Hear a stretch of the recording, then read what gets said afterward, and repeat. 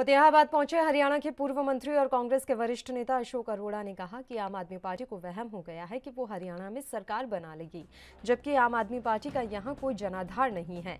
यही वहम दिल्ली में सरकार बनने के दौरान भी हुआ था। तब हरियाणा में सभी जगह आपकी जमानतें जब्त हो गई थी और आगे भी फिर से वही हाल होगा। पूर्व मंत्री अशोक अरोड़ा उनतीस मई को फतेहाबाद की नई सब्ज़ी मंडी में होने वाले विपक्ष आपके द्वार कार्यक्रम की तैयारियों का जायजा लेने आए थे।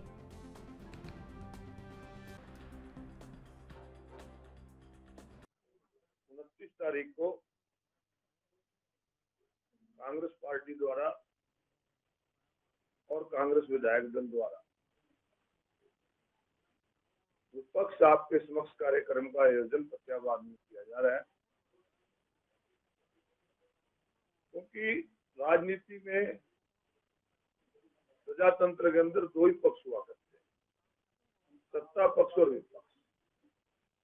सत्ता पक्ष की जिम्मेवारी होती है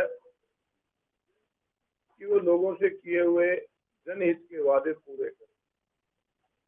अच्छी शिक्षा मिले, अच्छी चिकित्सा मिले, अच्छी सुरक्षा मिले, युवाओं को रोज़गार मिले, किसान को भाव मिले, विकास के कार्य हो, ये सत्ता पक्ष की जिम्मेवारी है।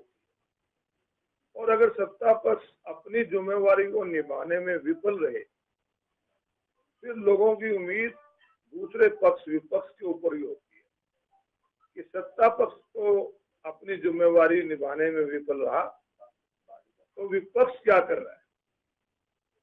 आज की जो मौजूदा सरकार है, वो हर मोर्चे नहीं लगता आज आम आदमी पार्टी का हरियाणा में कोई वजूद नहीं है।